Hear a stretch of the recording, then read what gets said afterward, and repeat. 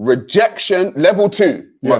Yeah, level two. Rejection of short-term relationships. Mhm. The member won't participate in hookups or any short or any form of short-term or sexual relationship. I don't take that off the screen, please. Let me just say this. Mm, If you're a man mm. and you do not partake in any short term or sexual relationship with any woman, I don't know what you are. I don't know. I, I, I don't know. It doesn't make sense to me. Does the M? In, That, that means any. I just want to know. Does the Any. does the M in MGTOW stand for monk? no. it stands for men, bro. Not monk, No, men.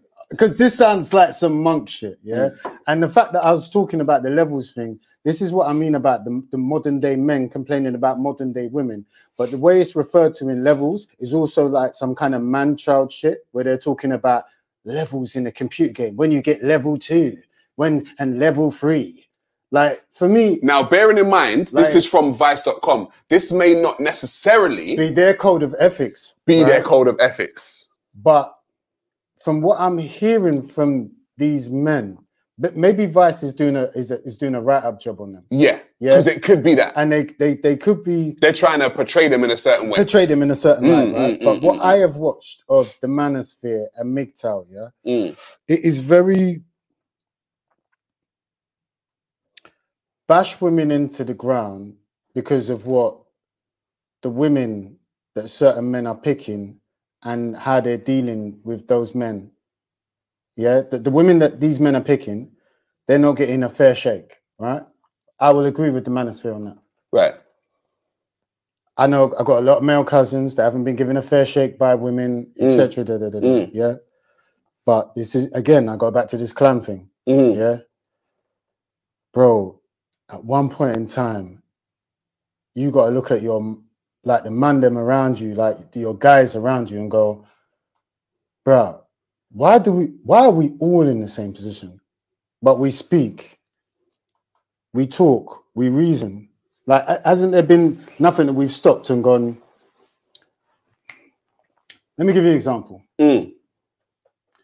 why isn't this happening? Like, I know it happens to a lot of other people. I'm not going to say it doesn't happen to white males or it doesn't happen to Chinese males or any other group of males, but I'm saying in the black community specifically, where it's quite rampant. Yeah. Mm.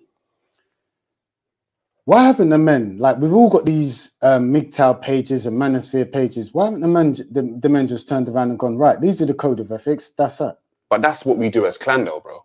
Yeah, I know. Do you get what I'm saying? That's what we do as clan. These are the- these are the code of ethics. Like now, we don't need to beat down on women anymore. We just set the rules We and just say, set the rules. if you're down for it, you're down Cool. for it. But if you ain't, you ain't. But the same thing applies for the men, right? You see, if if if the rules are you don't go out with no woman that's got three and four kids Mm-hmm. for different men, Mm-hmm. right? And then she's not even saying that the kids need to respect you as a father when you take them on. She's saying, well, that's their daddies.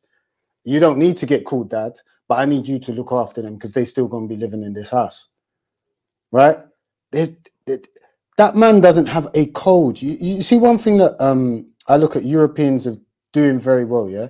Everything's in a dictionary. Everything's in a black laws code. Everything's in a book. Mm. The rules are all there. Mm. Yeah, you can break them if you want, Mm.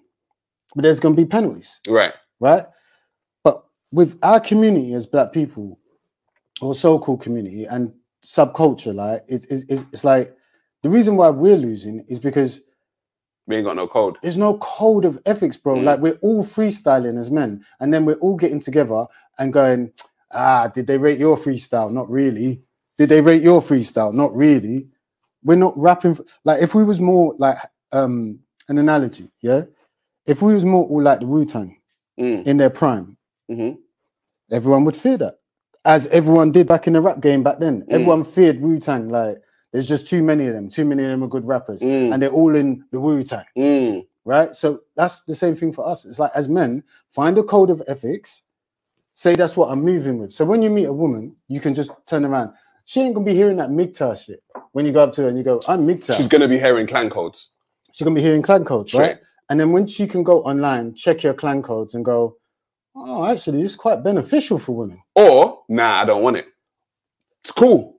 Now I don't have to Yeah. go on dates. I Yeah, don't need, no, need to need to go on dates. Yeah, we don't need to go up the aisle. Like we've we've just cut out so much mess, bro. Mm, And we've we've stopped children from being born into a messy situation. straight, one hundred percent, one hundred percent.